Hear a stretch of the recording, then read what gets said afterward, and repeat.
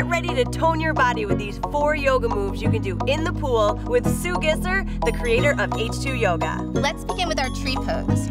Start with the outside of your feet parallel, about hip width apart. Okay. Shift your weight onto your right foot. Take your foot up off the floor. Tuck your tailbone to engage your lower abdominals. Take your thigh up and around so your thigh bone is carving out your hip socket. Place your foot on the inside of your standing leg, anywhere on the leg that's not the knee. So thigh is great, but you know what, so is calf, so is ankle. And slowly bring your arms up to the sky.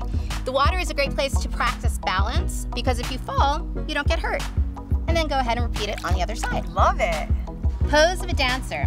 Go ahead and shift your weight onto your left foot. Grab a hold of your right foot with your hand so your inner thigh is engaged and lift your pelvic floor. Bring your heart forward. So if you're bringing your shoulders forward, leave your head and shoulders behind, bring your heart forward. To keep yourself balanced, keep your eyes softly focused on a point, work on keeping a relationship between your ribs and your hips, and keep breathing. Breath by definition is balance. Inhale balances exhale, fullness balances emptiness. Chair pose. There's nothing better for your butt than squats, and our favorite squat is the chair. Start by sending one sits bone back 45 degrees behind you, and then the other sits bone back 45 degrees behind you.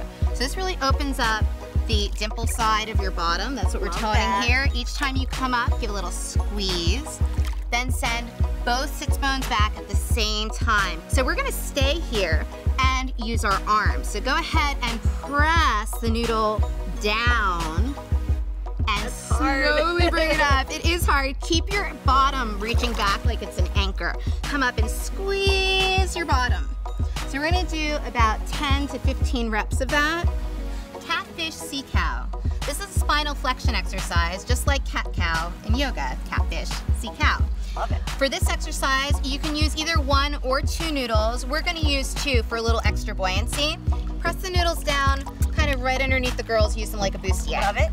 Take the base of your sternum forward and up against the noodles and take your feet up off the floor, sitting in a chair. Use your abdominals to take your thighs up and around and open to create right angles from the thigh to the calf. And then place the four corners of your feet together, creating a diamond underneath your body. Take your tailbone and bring it back, just like an inch or two. That'll bring your feet back behind you. Balance by taking the base of your sternum forward and up, creating a long front spine. This is our sea cow. Feel that.